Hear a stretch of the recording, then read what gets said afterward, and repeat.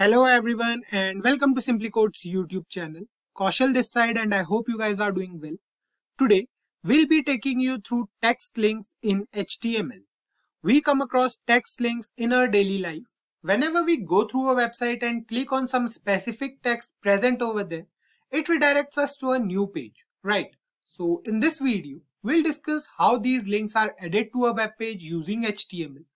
But before we begin, if you haven't subscribed to our YouTube channel already, make sure to subscribe to our channel and press that bell icon to never miss any updates on programming videos.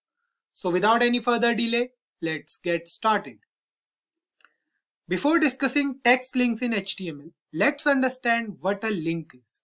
Any website we go through in today's world must contain a link. A link in HTML is an object that allows us to a new location when we click on it. It provides a simple way of navigation between different pages present on the web. These links in HTML are known as hyperlinks and hyperlinks allows us to navigate between websites by clicking on words, emails and images. Thus we can create hyperlinks using text or images available on a web page.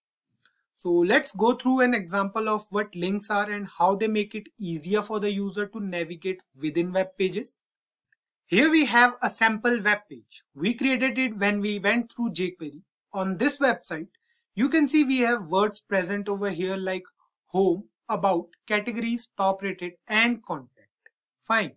If we click on any of these words, it takes us to that particular section of the web page.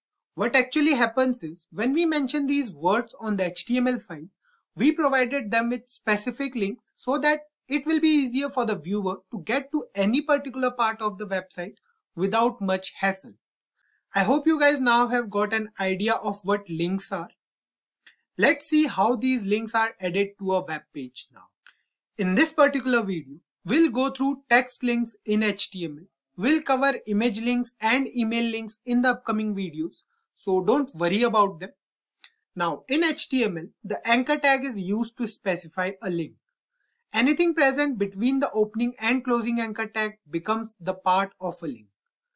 And we can click that part to reach to the linked web page or document.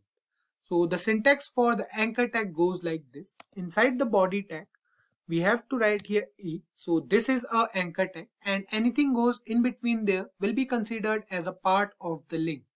Fine.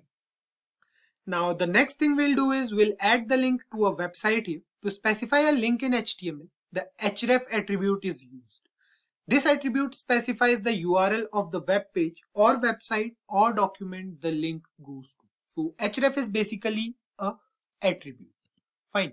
So what we have to do is we have to write here inside the anchor tag, we have to mention the href attribute and now we have to write the URL of website over here. Fine. So let's say the URL of a website is www.google.com fine. And the text will be let's say google. Fine. Now save the program. And you can see here we have google written over here on the web page in blue color. It is purple for now. You will get to know about it later on in this video only. So the URL we mentioned over here inside the anchor tag will take us to the home page of Google search engine. Click on it and you can see here we are on Google's home page, right? So moving ahead, let's discuss the two different types of URLs we have in HTML. The two types of URLs are absolute URL and relative URL. The URL we used here in this example, which navigates the user to Google's homepage, is an example of an absolute URL. Basically, when a full web address is mentioned in the href attribute, it refers to an absolute URL. On the other hand, the relative URL refers to a local link, a link to a page within the same website or without the HTTPS and www part. Fine. The syntax for this is also a bit different. So let's go through it. What we'll do is we'll first create another web page for this. So let's create one here. We have to name it. So let's say we are writing over here about.html so let's write some code over here. Let's say we are writing over here this is the about section of our website. So we'll write here h2 and about us. And let's write a paragraph here as well. We'll write here welcome to a youtube channel. Fine.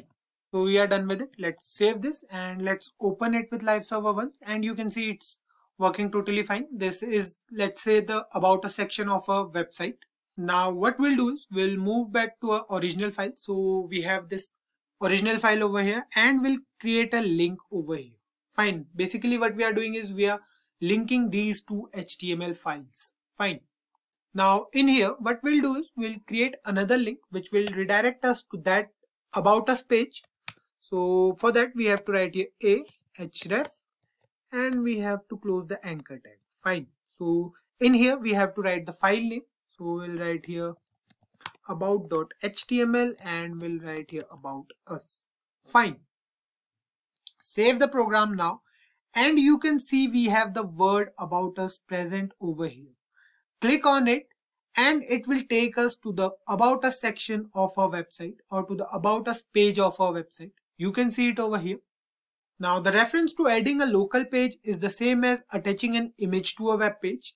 We can provide the path of that particular page inside the href attribute. Moving ahead, let's discuss the target attribute in anchor tag. Whenever we click on a link, it opens a web page in the same window by replacing the current web page. This happens by default in HTML. Fine. We can change this to either within the same window or in a new window. The target attribute can have four different values. The four values can be self, blank, parent and top. So self is used to open the related document within the same window. For example, if we use this particular attribute over here inside this anchor tag, we'll write it target, then we'll write here underscore self.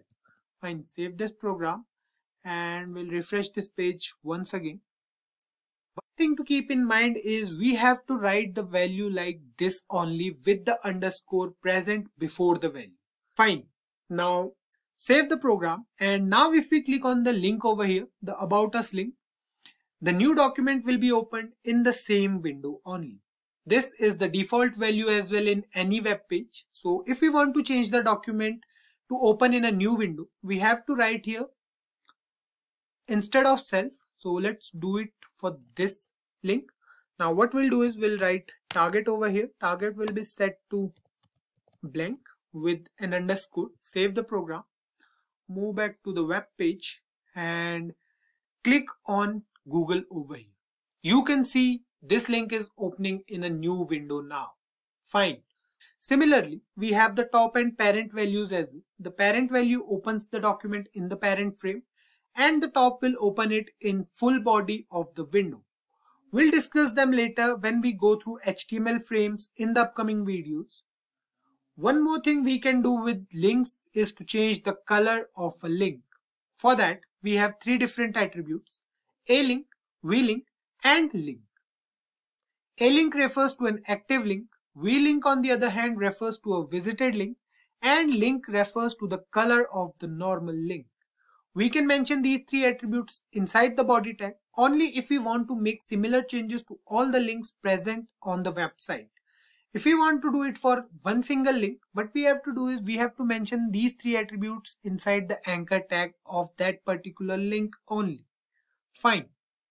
The syntax goes like this. For now, we'll mention them inside the body tag.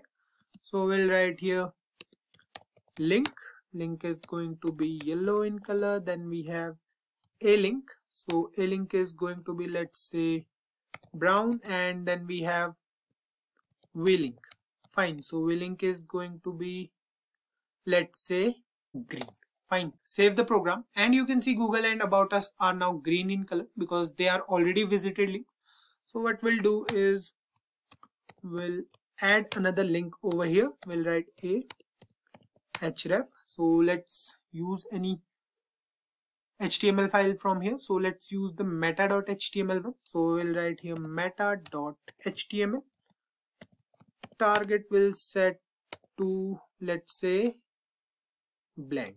Fine. We are going to open it in a new window. So let's say we are writing over here meta. Save the program and you can see meta over here which is also in green color because these all these three links are visited click on it and you can see the color changing to brown fine because it states that these links are active as well. Fine. Now let's talk about the default color of an HTML link as well. So an unvisited link in HTML is underlined and blue in color. A visited link is underlined and purple in color. That's why this particular link at the start was in purple color. An active link is underlined and red in color. So this is the task for you guys. You have to use these attributes to change the color of a link present on a web page.